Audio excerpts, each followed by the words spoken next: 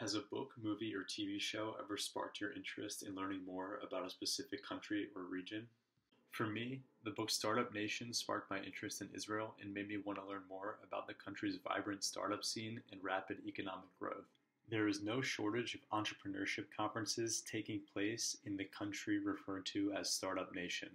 The Israeli Startup Conference, the Startup Nation Technology Fair, Cybertech Tel Aviv, and OurCrowd Global Investment Summit are a few of the many types of entrepreneurship conferences that currently take place in Israel.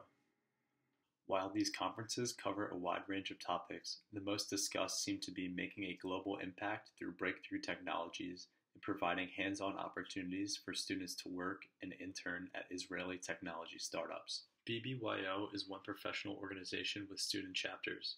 It reaches over 80,000 Jewish teens across the world through chapters in 50 countries.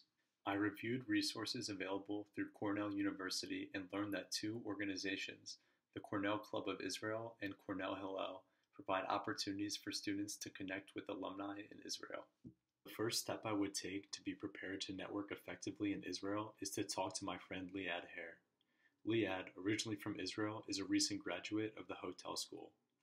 I know he is very familiar and passionate about the Israeli startup scene and would be a great resource. The second step I would take would be to talk to Athena Karp, a family friend originally from Philadelphia who founded her company, HiredScore, in Tel Aviv. The third step I would take would be to attend the Startup Nation Technology Fair on campus, which I attended last year. The event would allow me to interact with 10 to 12 early stage Israeli technology companies that attend the fair. If need be, I could learn how to speak Hebrew for free using videos on YouTube. You've learned why I chose Israel. What international country would you choose to research and why?